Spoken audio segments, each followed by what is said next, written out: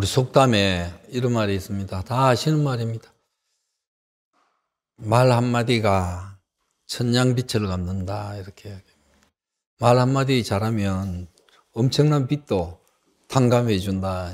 그냥 없는 거로 해준다. 이런 말이 있습니다. 근데 말 한마디가 참 중요합니다. 요새는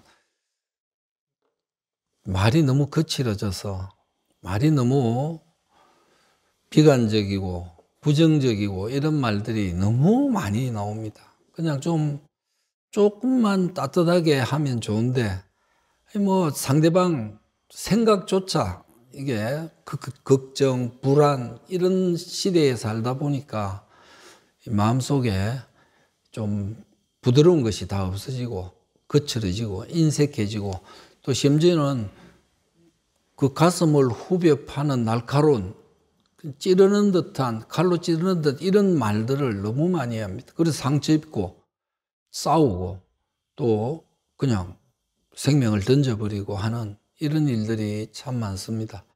우리 안에도 자꾸만 그런 사회에 살다 보니까 나도 모르게 거친 말이 나가는 겁니다. 남에 대해서 비판적이고 비관적인 말들이 이렇게 자꾸 나가게 되는 그런 사회에 우리가 살고 있습니다. 좀은 따뜻하고 부드럽고 희망적이고 뭔가 설사 그 사람이 잘못됐다 해도 뭔가 좀 실수했다 해도 위로하고 격려하고 하는 이런 말들이 천냥빛을 갚는데 내가 그 사람한테 잘못된 것을 따지면 그 사람은 어떻게 됩니까? 그 사람도 그 사람이 아 그래 미안합니다. 잘못된 사람 내가 잘못했습니다. 잘하겠습니다. 이런 사람 같으면 그 사람 따뜻한 사람입니다. 그 사람 뭔가 마음이 여유로운 사람. 근데 보통 상대방이 똑같다 보니까 같이 싸워버리는 겁니다. 누군가는 그렇게 희망적이고 뭔가 부드럽고 따뜻한 것을 만들어가는 사람, 그 사람이 지는 것 같지만 이기는 사람입니다. 말 한마디가 천냥빛을 갚는다. 그런 사람이 필요한 시대입니다. 근데 이런 말 좀 뭔가 이해하고 용서하고 따뜻하고 어, 매일매일 아내든 남편이든 자식이든 또 친구들이든 직장 동료들에게 뭔가 긍정적이고 좋은 말 하는데 여러분 돈이 들어가느냐? 돈 안 들어갑니다. 내가 돈을 써서 해라는 것도 아닙니다. 그리고 그, 그 따뜻하고 부드러운 것을 해서 그 사람이 위로하고 격려하고 감동을 주고 힘이 되어 주는데 내가 노력을 막 해야 되느냐? 힘을 써야 되느냐? 물건을 사서 갖다 바쳐야 돼? 아닙니다. 그냥 말만 하면 되는 거예요. 뭐 힘이 들어가고 노력이 들어가고 돈이 들어가는 게 아닙니다. 그냥 내 속에 있는 부드러운 말 한마디가 그냥 따뜻하고 격려하는 말 한마디가 그 사람에게는 큰 힘이 되는데 돈 들어가는 거 아니고 노력도 아니고 힘도 아니고 내가 물건을 갖다 사, 사서 갖다 바치는 것도 아닙니다. 진정한 인격자입니다. 근데 우리는 막 돈을 써서 뭔가를 해야 되는 것처럼 하는데 아닙니다. 내 속에 있는 좀 뭔가 예수님의 마음이, 예수님의 사랑이 그냥 슬슬 전해질 때마다 사람들에게 이 각박한 세상에, 이 암울한 세상에 힘이 되어준다, 위로가 되어준다.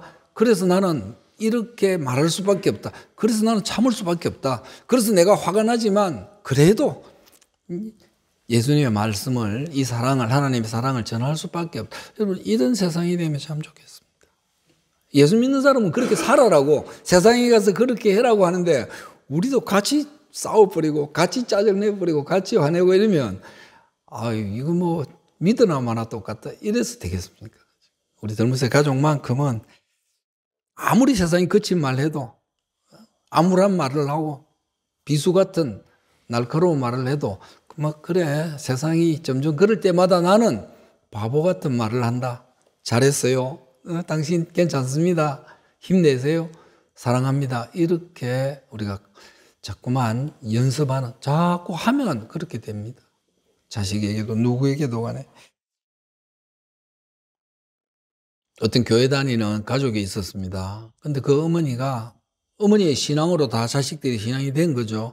어머니는 매일 낡은 외투만 입고 있는 겁니다. 자식들이 또 어디 뭐 친구들 모임이나 이런 모임에 가도 늘 그 외투만 입고 계세요. 갈아입질 않아요. 옷도 없고. 그래서 자식들이 의논을 해서 엄마는 매일 이 추운데 낡은 저것을 입고 있으니까 우리가 돈을 좀 모아서 따뜻하고 좋은 옷을 트롯을 하나 사드리자 이래서 사드렸습니다. 어머니에게. 그럼 이제 안심이 되죠. 추운 겨울에. 가족 모임이 옷을 사드리고 난 뒤에 가족 모임이 있는데 어머님이 오시는데 보니까 또 낡은 코트 입고 늘 있는 그 옷들 추워 보이는 낡은 코트를 또 입고 오신 겁니다. 그래서 자식들이 이상하다. 분명히 새 거 사드렸는데 그 어머니에게 물어보면 어머니 그 새 옷 들코트 사드린 거 왜 입고 오시지 이거 입고 오셨습니까? 이렇게 이야기하니까 어머니가 안 그래도 자식들의 눈치를 딱 보거나 알거나 아 그거 그래 그거 가끔씩 길거리에서 동냥하는 여자 사람 여자 아주머니가 있는데 나이 드신 분이 있는데 너무 춥고 너무 그냥 남이 보기에 민망스러울 정도로 다 떨어진 옷을 입고 다니길래 내가 그 옷을 줬다, 그 옷을 사, 줬다, 이러는 거. 그러니까 자식들이, 아니, 어머니, 어머니 입고 있는 옷을 드리고 새 옷을 어머니 입으시지 그러셨어요. 이렇게 하니까 이 어머니가 얘들아, 너가 가진 것 중에 가장 좋은 것을 주어라. 이렇게 우리가 알고 있지 않니? 이렇게 이야기하는 겁니다. 내가 가진 것 중에 가장 좋은 것을 나누어라. 더 이상 자식들이 할 말이 없죠. 그 자식들이 어머니가 말로 해서 뭐 이래야 된다, 저래야 된다, 사랑해라 이렇게 안 가르치고 직접 몸으로 신앙을 보여주면서 자식들을 가르치신 그런 어머니가 계셨다. 여러분, 겨울이 지나가는데 우리가 새 옷을 입고 가다 정말 다 떨어진 옷, 아니면 이 뭐랍니까? 이 파카가 없이 요즘 요즘 잠바 없이 그냥 얇은 걸 입고 있는 사람을 보고 이유 없이 그냥 내 것을 벗어주고 갈 수 있는 그런 사람이 요즘 있을까 이런 생각이 듭니다. 잉글랜드에는 아 아일랜드구나. 아일랜드에는 여러분 전설이 있습니다. 전설은 계속 내려오는 거죠. 자식들로부터 자식들로부터 내려오는 그런 이야기가 있습니다. 이 아일랜드는 옛날에 이 지금이야 한 국가잖아요. 그때는 여러 왕, 왕국이 나눠져 있는데 이제 봉건주의 시대의 왕들이 있는데 한 왕만 한 부족의 왕만 자식이 안 나지는 겁니다. 이 자식이 있어야 후계자를 양성을 자식 왕자에게 물려줘야 되는데 다른 데는 다 서로 왕자들이 있어서 이런데 이 나라는 그것 때문에 고민이었습니다. 그래서 왕이 결단을 합니다. 그래 자식이 이제는 더 이상 낳지도 못하니까 방을 붙여라. 갖고 올마다 방을 붙여라. 뭐라고 붙이느냐? 첫째, 첫째 하나님을 사랑하는 것. 하나님을 사랑하는 자. 둘째 이웃도 사랑하는 사람. 진정으로 이웃을 사랑하는 사람. 그런 젊은이가 있다면 왕께 아련하라. 왕을, 왕을 만나러 오너라. 면담을 해라. 이렇게 방이 붙은 겁니다. 각 고을에 다 붙은 겁니다. 그러니까 신앙의 국가고 하니까 기독교 국가고 하니까 다들 신앙 좀 좋다는 사람들은 추천을 받아서 이제 몰려오기 시작하죠. 왕이 되는 줄, 왕자가 되는 거니까. 한 시골 마을에 진짜 괜찮은 친구가 있는 겁니다. 정말 어릴 때부터 열심히 예배 드리고 사람들에게 어른들에게 공경하고 정말 신앙의 모범을 보였던 이웃들에게 정말 사랑하고 하나님 끊임없이 찾았던 한 젊은이가 있습니다. 이 동네 사람들이 너무 가난하니까 저 친구를 보내야 되겠는데 저 친구 같으면 정말 왕자의 자격이 있는 사람 같은데 돈이 없는 겁니다. 갈 돈도 없고 준비도. 그러니까 마을 사람들이 돈을 모았습니다. 돈을 모아가지고 좋은 옷도 사 입히고 왕을 만나야 되니까. 그리고 왕궁까지 갈 여비도 주고 가면서 써라 하면서 이래서 보냈습니다. 너무 감사해서 이 친구가 이제 하루 이틀 시간이 지나면서 왕궁으로 찾아갑니다. 왕을 만나러 아련하러 갔다. 가는데 왕궁이 저 앞에 보입니다.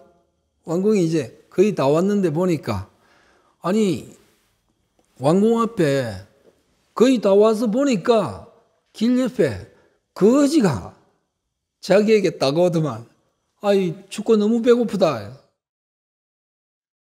좀 도와주시면 좋겠다. 제발 좀 더 도와달라고 애거를 하는 겁니다. 어, 이 친구 마음이 어떻습니까, 지금? 아니, 왕을 만나러 동네에서 여비하고 좋은 옷을 다 줘서 지금 왕궁이 저기인데 이 친구를 보니 갈등이 생기는 겁니다. 이거 어떻게 해야 되지? 근데 이 친구가 자기가 그 모아서 사준 옷을 거지에게 입혀주고 먹을 거 따뜻한 거 사 먹을 하면서 받은 여비도 남은 여비도 다 줬습니다. 그러면서 자기는 입을 옷이 없잖아요. 거지가 입고 낡은 옷을 그걸 놔주시오. 그래서 야 이거 가야 되나 말아야 되나 왕을 만나러 말이죠. 그래도 동네에서는 어른들이 가자 이래 입고라도 가야 된다. 떨어지더라도 내가 뭐 왕자가 안 되더라도 가야 한다 하고 거지 옷을 입고 왕 들어간 겁니다. 결심을 하고 그래도 가야지.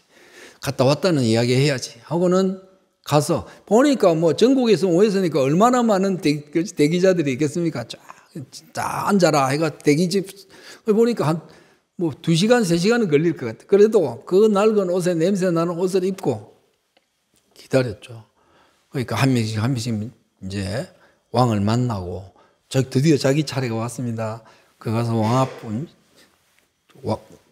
보좌 앞에 가서 왕 앞에 가서 큰 절을 하고 들어가자마자 큰 절을 하고 고개를 드는데 보니까 어, 이 왕이 그 거지네. 조금 전에, 며칠 전에 만났던 그 거지가 거기 들어왔네.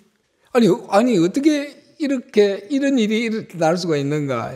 이 젊은이가. 그러니까 그 왕이, 그 짐이 정말 붙인 방해 내용대로 하나님을 사랑하고 진정으로 이웃을 사랑하는 사람인지 아닌지를 내가 알고 싶어서 거지 옷을 입고 거기에 있었다. 많은 하나님을 사랑한다 하고 이웃을 사랑한다고 찾아오는 많은 왕자들이 아마 이제 왕의 왕자의 후보들이 다 도와달라고 정 배고프다고 추운데 떨고 있다고 해도 다 지나가더라. 왜? 왕, 지금 왕을 만나야 되는데. 근데 자네는 진정으로 하나님을 사랑하는 친구다. 정말 이웃을 사랑하는 친구인 것을 내가 알았다. 이렇게 이야기합니다. 여러분, 오늘날 우리 앞에 그 아일랜드의 왕이 있다면, 그죠? 우리는 어떤 왕이 우리에게 뭐라 그럴까? 하나님이 오늘 우리가 살아가는 모습을 보고 진정으로 하나님을 사랑하고 힘과 마음과 목숨을 다해서 하나님을 사랑하고 힘과 목숨, 마음을 다해서 이웃을 사랑하는 것이 하나님이 제일 원하는 거다. 첫째 계명이다. 이렇게 하나님이 아일랜드의 그 왕이 보고 우리의 삶을 보고 진짜다 당신은 있어도 없어도 못 배워도 힘이 있거나 힘이 약해도 하나님 사랑하고 이웃 사랑하는 거 하나는 당신이 최고다. 이런 신앙으로 이런 마음으로 내가 비록 가진 건 없어도 내가 비록 못나고 내세울 건 없지만 하나님 사랑하는 것과 사람 사랑하는 거 하나만큼은 나는 정말 최고로 여기고 산다. 이런 마음으로 살면 어떨까? 이렇게 살아가는 사람 되었으면 참 좋겠다. 여러분 마태복음 8장에 보면 28절에서 34절입니다. 여러분 예수님이 지나가는데 어느 지방이죠. 가다라 가다라 지방을 지나가는데 귀신 들린 사람 둘이가 예수님 곁에 있다가 움찔하죠. 우리를 쫓아 내려왔습니까? 그러지 마십시오. 이렇게 이야기를 합니다. 그러니까 온전한 정신이 아니죠. 귀신 들린 거는 온전한 정신이 아닙니다. 자기 정신을 못 찾고 귀신에 잡혀져 있으니까 영적으로 완전히 병이 들어 있으니까 예수님이 쫓아내려고 합니다. 그러니까 어디로 돼지 떼게로 그 돼지 떼게 영이 들어가니까 돼지 떼가 몰 떼를 지어서 바다로 다 빠져서 몰살했다 이렇게 얘기합니다. 두 사람은 이제 맨정신으로 자기 정신으로 돌아온 거죠. 여러분 그러고 났습니다. 예수님이 이 일을 했습니다. 하고 나니까 34절에 온 시내가 예수를 만나려고 나가서 보고 그 지방에서 떠나시기를 강구하더라 이렇게 합니다. 여러분 우리 같으면 아이고 예수님 고쳐 주셔서 고맙습니다. 예수님 응답해 주셔서 고맙습니다. 예수님 이렇게 돼야 되는데 이런 한 부류가 있겠죠. 예수 믿는 사람은 하나님께 기도했더니 응답해 주셔서 고맙다 하는 한 부류가 있습니다. 또 한 부류는 뭐다? 사람이 고쳐졌는데 사람의 목숨이 죽을 목숨이 영원히 남에게 손가락질 받으면서 살아야 되는 그 인생이 변화되어서 새 사람이 되었는데 고침을 받았는데 다른 한쪽은 어떻다? 당신 때문에 내 재산이 내 돈이 다 날아가게 됐으니까 당신 좀 떠나라 이렇게 하는 겁니다. 교회 다녀봐야 뭐 뭐야 주일날 등산 가고 놀고 그 돈으로 내 여행 가고 내 마음대로 쓰지 그 왜 이런 부류들이 있다. 항상 자기 생각, 자기 중심으로 생각하는 한 부류가 있다. 세상은 그렇다. 이렇게 지금 그 이 말씀입니다. 우리가 예수님을 믿고 사람을 살리는 일에 세상을 바꾸는 일에 사람답게 사는 하나님 원하시는 아름다운 세상을 만드는 일에 오는 사람이 있고 또 한쪽은 뭐다? 아니다. 내 거 손해봐가면서 내가 왜 해야 되나? 그런 거 필요 없다. 예수는 좀 가라. 이렇게 하더라. 이 이야기를 합니다. 여러분, 세상이 그렇습니다. 세상이. 이쪽이냐 저쪽이냐 갈? 여기서 우리가 사람의 목숨이 사람의 생명이, 사람의 영혼이 중요한 쪽으로 가야 되는데 요즘은 뭐요? 내 집이 중요하다. 내 재산이 중요하다. 내 돈이 중요하고 내 자식이 중요하는 사람 생명보다 이쪽으로 가는 사람이 훨씬 많은 시대에 우리가 살고 있다.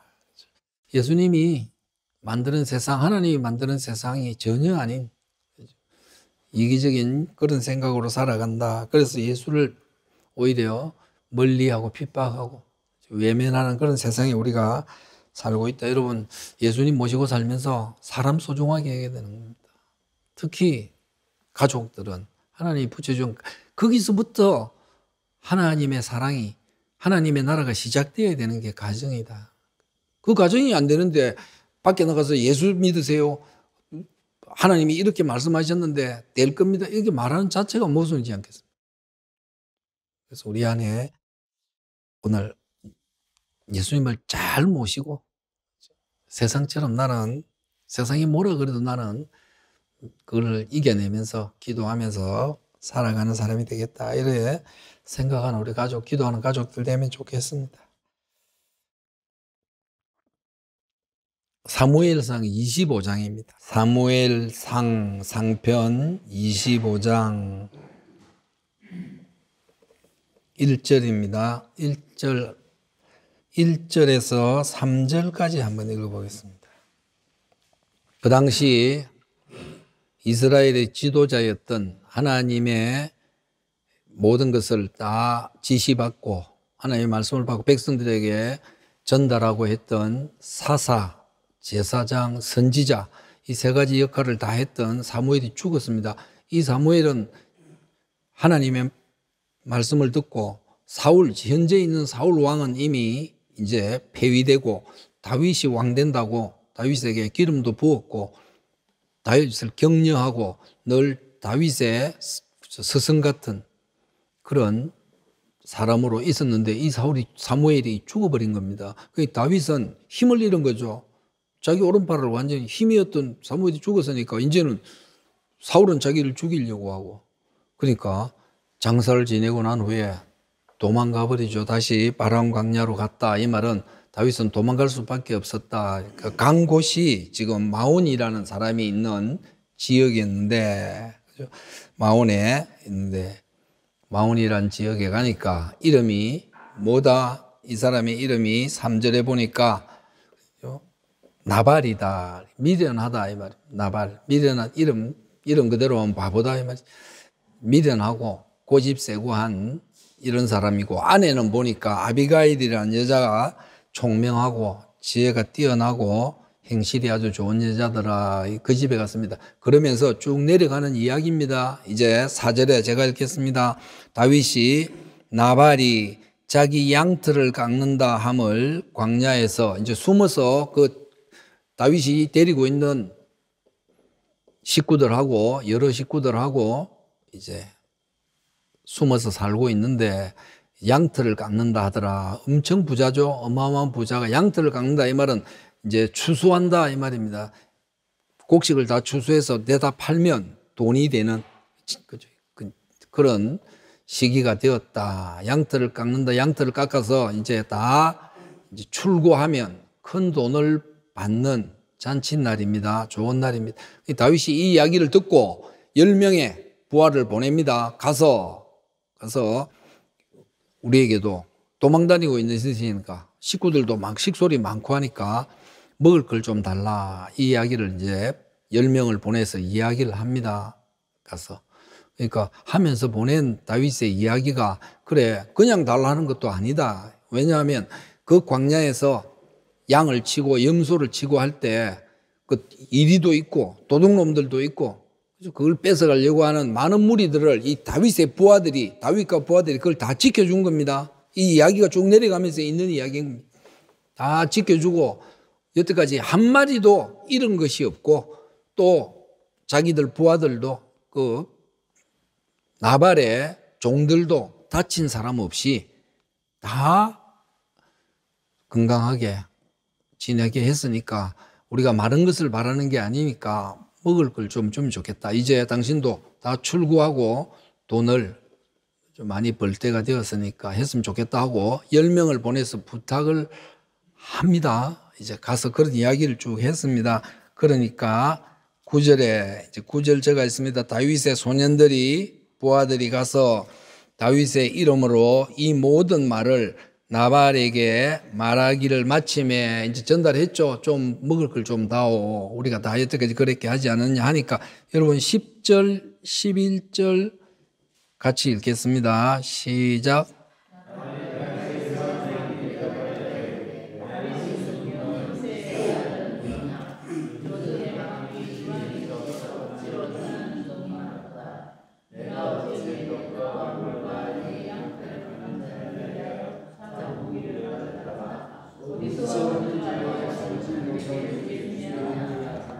예, 나발이 이 이야기를 듣고는 어 그래 내가 좀 먹을 것 보내줘야지 우리도 도움 받았는데 이래야 이게 정상적인데 이 나발이 욕심쟁이입니다. 미련합니다. 그런 거 전혀 모릅니다. 그리고 엄청난 부자죠. 부자가 하는 말이 아니 다윗이라는 놈이 도대체 누구냐? 아니 그는 나는 족보도 모른다. 나는 이 부자들 이름, 뭐 권력에 있는 사람들 다 아는데 그 뭐 전혀 뜻도 보도 못한 그런 사람 이름을 대면서 내가 땀 흘리면서 고생하면서 벌어놓은 것들을 내놔라 하는데 도대체 이놈이 뭐야? 광야에 숨어 사는 반역자가 아니냐 이 말입니다. 정부에 이미 반기를 들고 쫓겨나서 산속에 숨어 사는 놈들이 내한테 뭘 달라는 거냐? 이렇게 이야기합니다. 요즘 자기 주인에게서 억지로 떠나는 종이 많다 이 말은? 주인을 물리치고 반역하고 도망 다니는 사람이다. 다윗은 그렇게 이야기합니다. 그러면서 내가 줄 떡이나 물이 하나도 없다. 내가 왜 모르는 놈들한테 반역자들한테 도둑놈들한테 강도들한테 내가 그거를 줘야 되느냐 이 이야기를 합니다. 다윗 그래서 돌아가서 부하들이 이 나발이 이런 이야기를 합디다. 이제 그 밑으로 또 내려가면 그 이야기합니다. 다윗이 이 이야기를 듣고 화가 하늘 머리 끝까지 올라와서 야 당장 칼을 차라 부하들에게 부하 200명 들고 전부 다 칼 준비해라 무장 무장해라 당장 가서 내가 오늘 해가 지기 전에 저놈 안 죽이면 내가 하늘에 걸고 맹세한다. 난 사람도 아니다. 이러면서 부하들에게 무장을 시키고 지금 들어오는 겁니다. 치로. 저, 저 인간 저게 인간이냐? 여태까지 우리가 어떻게 돌보고 도와주고 보호해 줬는데 이게 할 말이냐 하면서 이제 막 치로 들어옵니다. 그, 그때에 이제 그 이야기를 들었죠. 왜? 이 종들은 다윗의 부하들하고 매일 같이 살, 그죠? 들판에서 광야에서 양치고 염소 지면서 서로 같이 담배 피우고 같이 뭐 음식 나눠 먹고 했던 종들이니까 잘 아는데 이 이야기를 듣고는 야, 니 큰일 났다. 우리 다윗이 너희들 다 죽인데 너 주인 그 끝났어 오늘 이러니까 이 종이 듣고는 나발의 종이 듣고는 막 뛰어내려갑니다. 가서 이미 주인은 안 되니까 미련하고 고집 세고 욕심쟁이고 안 되니까 누구에게 아비가일에게 아내에게 그 이야기를 합니다. 14절입니다, 여러분. 14절 같이 읽어보겠습니다. 시작.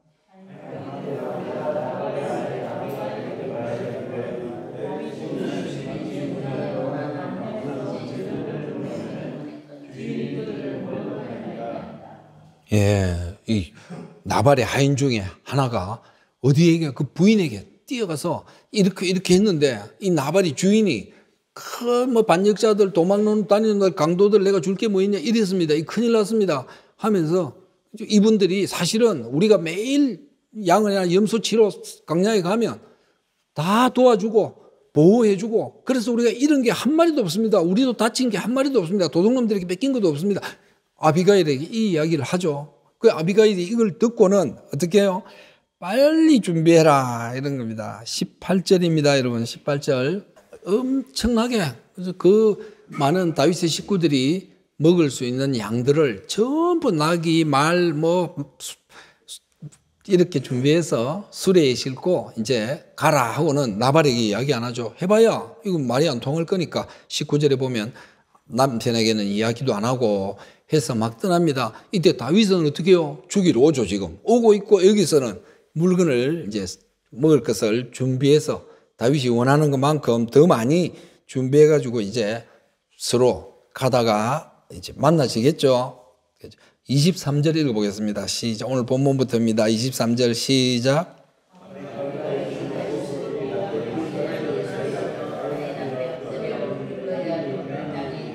예, 24절에 그가 아비가일이죠. 그 나발의 부인이 다윗의 발에 엎드려 이르되 내 주여 원합니다. 부탁드립니다. 이 죄악을, 이 잘못됨을 나 곧 내게로 돌리시고 여종에게 주의 귀에 말하게 하시고 이 여종이 이 여종의 말을 들어 주십시오. 이렇게 합니다. 정말 부탁드립니다. 잘못했습니다. 이 잘못된 이 상황을 이 여종이 주에게, 당신에게 이야기하게 해주, 해명하게 해 주십시오. 정중하게 이야기합니다. 이 여종의 말을 좀 들어주십시오. 잠깐만요. 잠깐만요. 우리가 잘못된 거 압니다. 우리 남편이 엉망인 거 내가 압니다. 지금 엉망 만드는 거 압니다. 하면서 그러면서 25절에 원합니다. 제발 부탁입니다. 내 주는 다윗입니다. 주, 주라는 것은 이 불량한 사람 나발의 그의 말, 그의 행동, 그가 하는 이 엉뚱한 잘못된 것에 마음을 두지 마십시오. 이렇게 이야기하면서 우리 주인은 아주 미련한 사람입니다. 이름 그대로입니다. 이름 나발이 미련하다, 바보다 이런 그대로입니다. 25절에 그의 이름이 나발이라. 그는 미련, 이름 자체가 이건 세상에 미련하게 사는 고집이고 욕심쟁이고 남 돌볼 줄 모르는 사람이니까 그 사람 개의치 마십시오 하면서 이제 이야기를 합니다. 26절 여러분 읽어보겠습니다. 시작.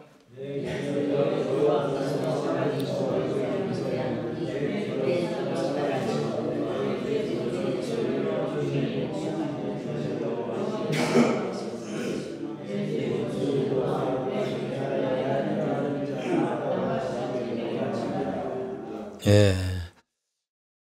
나를 만난 것은 이 여자가 이런 겁니다. 다윗, 당신이 내가 이렇게 오게 된 것은 하나님의 뜻이 아니겠습니까? 이렇게 이야기합니다. 하나님의 내가 당신을 만나라고 온 것을 이해해 주십시오. 이렇게 하면서 그죠? 당신이 하나님께서 당신과 나를 만나게 한 것이 아니겠는가? 그걸 생각해 달라 이 말이에요. 당신은 막무단에 가서 나발을 죽이면 좋겠지만 내가 이렇게 가운데 서서 이 이야기를 하는 것은 하나님이 보내서 당신의 피 흘림을 막으려고 하시는 것이 아니겠는가. 그 이야기를 이 여자가 하고 있습니다.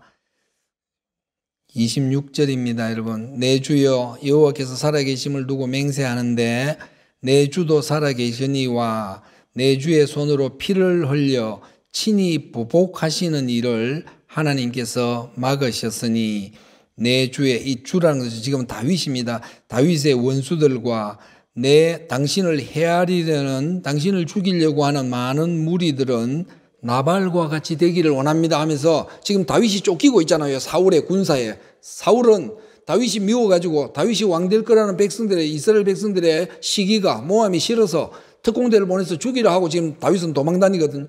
그러니까 그런 놈들 사울 지금 현재 왕의 사울의 부하들도 나발처럼 한 줌의 흙밖에 안 됩니다. 먼지밖에 안 되는 인간들하고 당신이 싸워가지고 뭐 하겠느냐.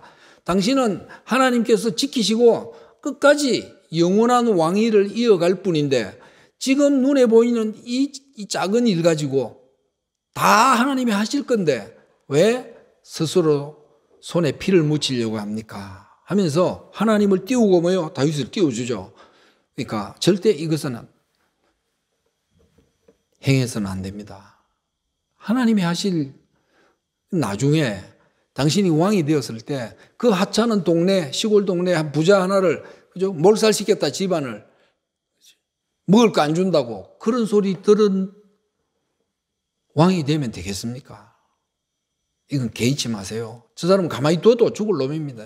가만히 둬도 저거는 엉망인 사람을 피 흘릴 필요가 없습니다. 하면서 28절입니다. 여러분 같이 읽어보겠습니다. 시작.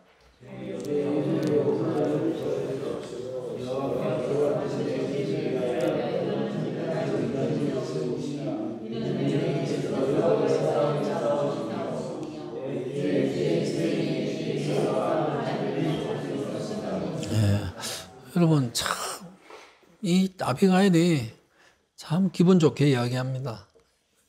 이야기하기를 내 허물을 내 잘못을 우리 집안의 잘못을 용서하시고 하나님께서는 반드시 내 주를 다윗을 위해서 어떻게 해요?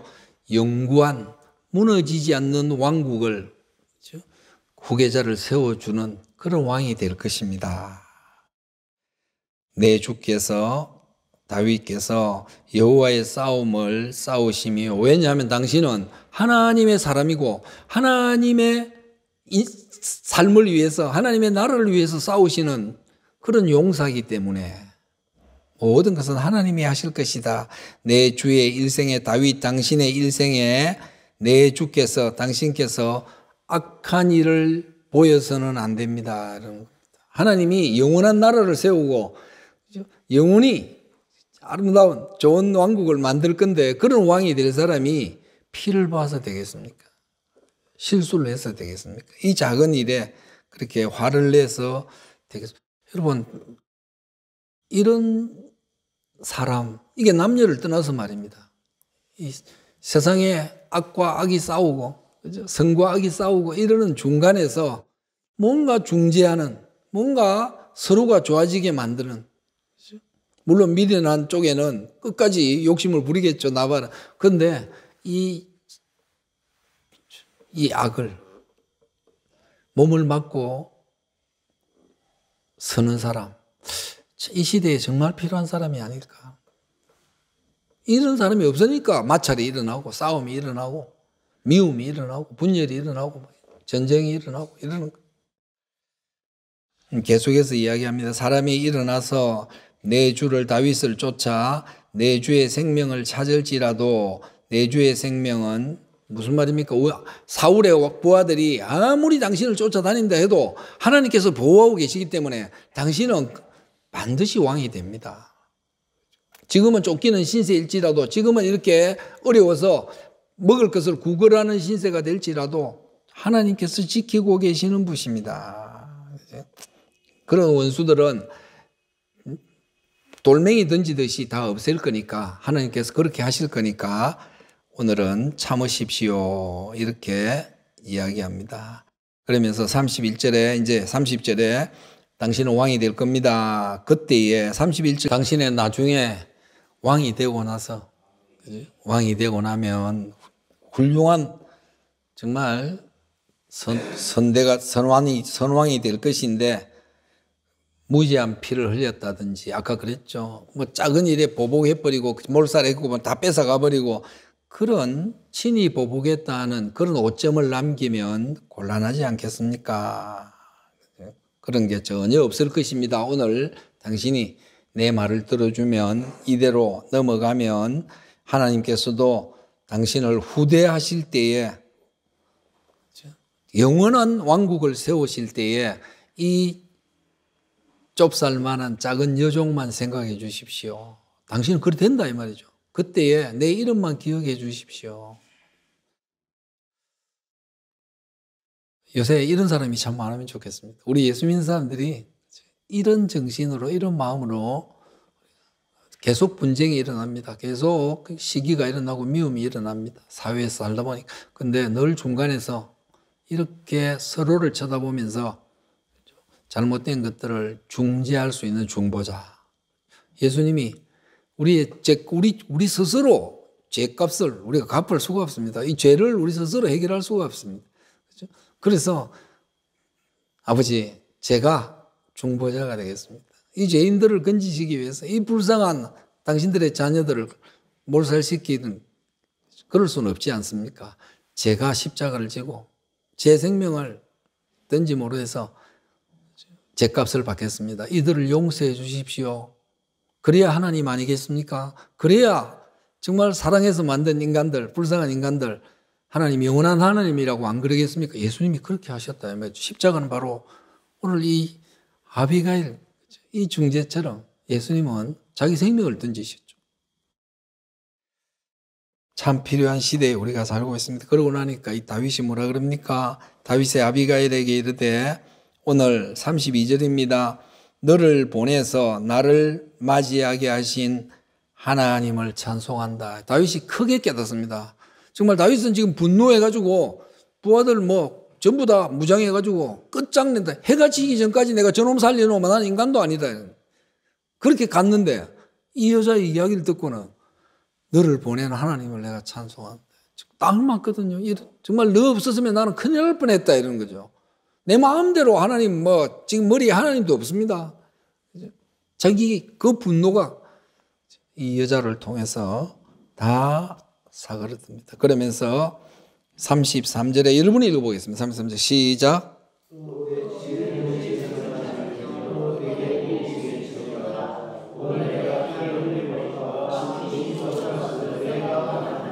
예, 정말 고맙다 이 말이죠. 너 영원한 복이 좀 있으라. 내 이 분노, 이 화. 그죠? 우리는요, 우리 아비가일은 누굽니까? 예수님이 내 분노, 내 화, 주님이 그 내 분노, 내 화, 그죠? 없애주시려고 십자가, 그걸 지고 돌아가셨는.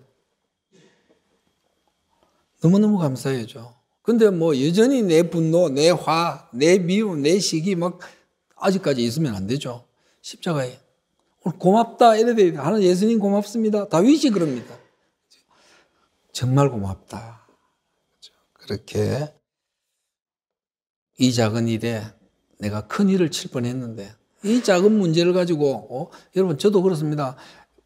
요즘은 안 그러는데 옛날에 뭐 화낼 대로 다 내고 나면 돌아서면 어찌 그리 후회가 되는지 모르겠어요.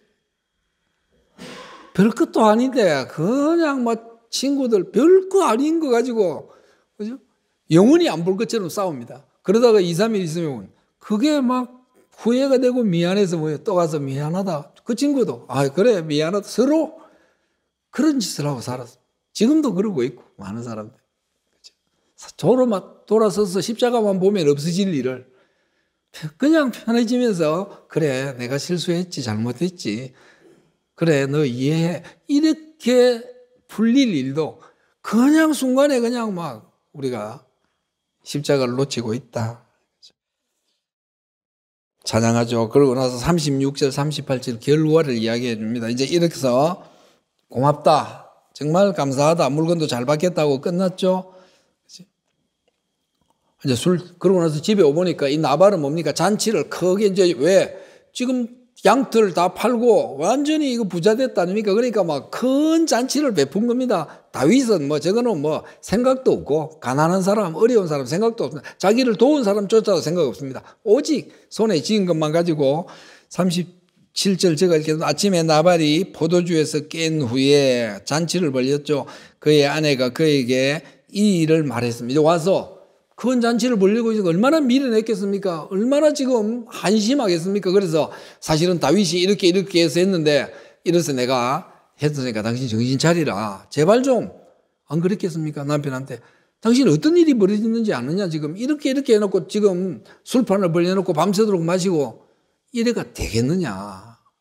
이 재산 누가 준 거냐? 하나님 주신 걸 당신이 그렇게 이야기했겠죠? 6절 보세요. 아비가일이 나발에게 이제 그 일이 끝나고 나발에게 남편에게로 돌아오니 그가 왕의 잔치와 같은 잔치를 그의 집에서 베풀고 크게 취하고 기뻐하고 그죠?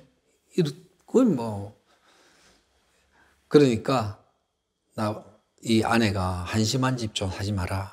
제발 당신이 사는 게 이게 사는 거냐. 부자가 부자라고 다 부자냐. 정신 좀 차려라. 이렇게 하고 난 뒤에 뭡니까? 이것은 누가 처리한다? 하나님이 몸이 굳어가지고 죽게 만들더라. 여러분, 오늘 이런 중재자, 이런 예수님, 이런 아비가엘, 우리가 나도 정말 이런 사람으로 아내에게, 자식들에게 또 동료들에게 살아가면서 이런 믿음으로 기도하는 사람 되어야 되겠다. 이런 가족이면 좋겠습니다. 네. 하나님, 슬기로운 사람, 상황을 보면서 정말 어떻게 이 문제를 처리해야 하는지, 해결해야 하는지, 하나님의 방법은 무엇인지 기도하는 그런 사람들이 되기를 원합니다.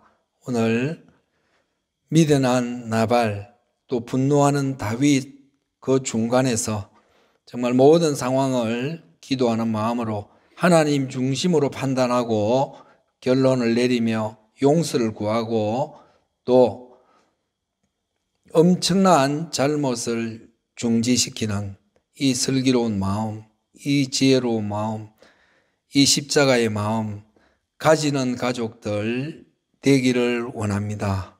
이 마음 품고 기도할 때에 하나님의 크신 은혜가 성령님의 놀라운 은혜가 임해서 많은 사람들에게 도움이 되는 그런 가족들로 살아가는 우리들 무쇠 가족이 되게 하여 주옵소서 예수 그리스도 이름으로 기도 올립니다. 아멘.